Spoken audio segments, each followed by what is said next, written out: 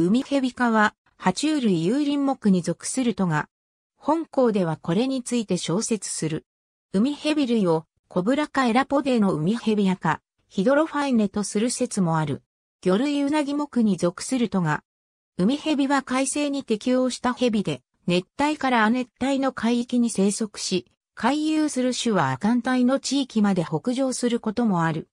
体型は種類によって異なり、セグロウミヘビのように腹板を持たない種や、選ぶ海ヘビのようによく陸に上がるために腹板を持つ種など様々な種がいる。尾は縦に平べったくなっており、泳ぐのに適している。泳ぐ際は体を横にくねらせて泳ぐ。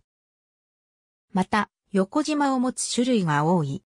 これは、海蛇が天笠蛇やサンゴ蛇などの横島を持つコブラの仲間から進化してきたためであるという説がある。性質は、おとなしい種類が多いが、手で持つと噛まれることがある。また、好奇心から近づいてくることもあるようである。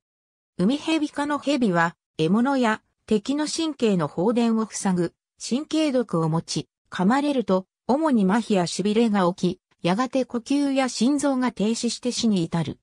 海蛇の場合は、海中で噛まれることが多く、放っておくと身動きが取れなくなって溺死してしまう恐れもあるため、速やかに陸もしくは戦場に上がることが望ましい。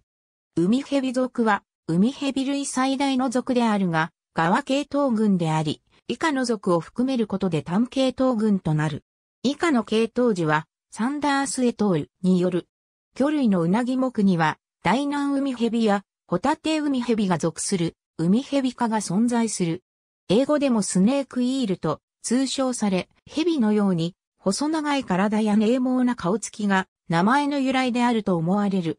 うなぎ目海蛇科の生物は毒を持たない海水魚の一種であり、本校の海蛇とは全く別の生物である。ありがとうございます。